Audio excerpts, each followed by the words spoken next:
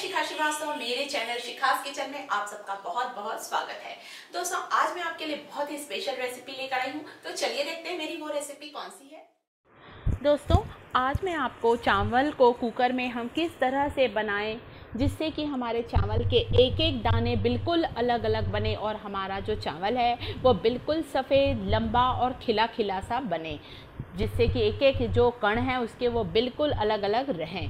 तो वैसे तो आप सभी चावल बनाते हैं दोस्तों, परंतु बहुत ही आसान आपके साथ कुछ टिप्स एंड ट्रिक्स शेयर कर रही हूँ जो आपको चावल बनाते समय ध्यान रखना है। तो इसके लिए मैंने एक कटोरी चावल लिया है, एक बड़े चम्मच मैंने शुद्ध देसी घी लिया है, आधी चम्मच नमक और आधा नींबू लिया है। तो सबसे पहले हम चावल को धो लेते हैं चावल को जब भी आप दोस्तों धोएँ तो हमें चावल को बहुत ज़्यादा रगड़ रगड़ कर नहीं धोना है। आप देख रहे हैं कि मैंने इस तरह से चावल में पानी डाला है और हल्के हाथों से हमें धोना है। बहुत से लोग चावल को बहुत ज़्यादा रगड़ कर धोते हैं। इससे क्या होता है? चावल के जो कण होते हैं, चावल के दाने जो होते हैं, उनकी जो ऊपर की परत होती है, उनमें थायमीन की परत होती है दोस्तों और जब हम उसे खूब ताकत से रगड़ते हैं तो वो पानी में घुल कर नष्ट हो जाती है तो वो पानी में ही बह जाती। जब हम इस पानी को फेंकेंगे दोस्तों तो चावल के ऊपर की जो लेयर है थायमीन की परत है, वो पानी में बहकर निकल जाएगी। तो हमें चावल के किसी भी पोषक तत्वों को ख़राब नहीं करना है। वैसे तो कुकर का चावल सबसे अच्छा होता है दोस्तों, क्योंकि उसमें सभी न्यूट्रिएंट्स आ जाते हैं। और जब हम चावल को पसा कर बनाते हैं, उसके पानी को फेंक कर बनाते हैं तो उस चावल में हमें कुछ भी नहीं मिलता है। कोई भी पोषक तत्व नहीं रहते हैं। सिर्फ़ हम टेस्ट के लिए खाते हैं। और कुकर के चावल बहुत ही अच्छे होते हैं।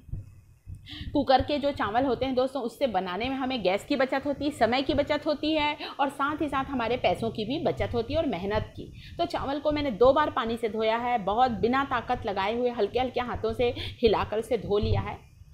दो बार इसका पानी फेंकने के बाद मैंने आधा कप के करीब इसमें साफ़ पानी डाल दिया, जिसमें मैं चावल को भिगा कर रखूँगी। दस मिनट तक आप चावल को ज़रूर भिगाएँ। इससे चावल पकता भी जल्दी है दोस्तों और चावल बिल्कुल सफ़ेद हो जाता है पानी में सोख करने से। तो अब मैंने एक बड़े बर्तन में एक गिलास के करीब पानी रख दिया है दोस्तों, और चावल जिस पानी में भिगाई हूँ, उस पानी को आप बिल्कुल ना फेंके दोस्तों। बहुत से लोग उस पानी को फेंक देते हैं, सिर्फ़ सूखा चावल ही इसमें डालते हैं। इससे दोस्तों, चावल जो 10 मिनट पानी में भीग रहा था, उसके साथ उसके कई घुलनशील जो पोषक तत्व होते हैं, वो भी पानी में बह जाते हैं। तो कभी भी चावल जिस पानी में सोख हुआ है, उस पानी को आप बिल्कुल भी ना फेंकें। तो अब मैंने क्या किया है दोस्तों? एक चम्मच नमक लिया है और नमक मैं इसमें मिला रही हूँ।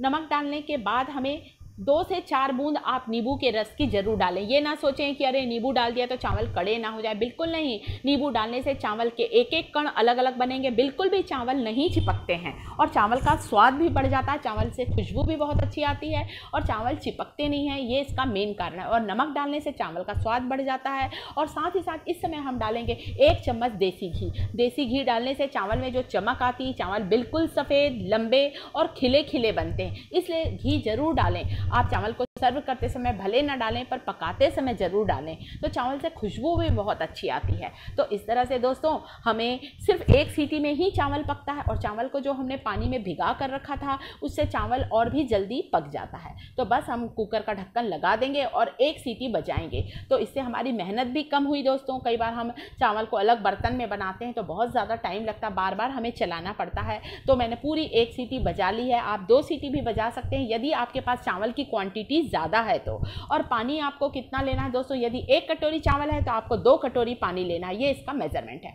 अब मैं आपको ढक्कन खोल कर दिखा रही हूँ दोस्तों। ये देखिए, अभी मैं आपको चम्मच में चावल निकाल कर भी दिखा रही हूँ। आप देख सकते हैं, बिल्कुल भी हमारे चावल नहीं चिपके हैं। बिल्कुल अलग अलग चावल बने हैं।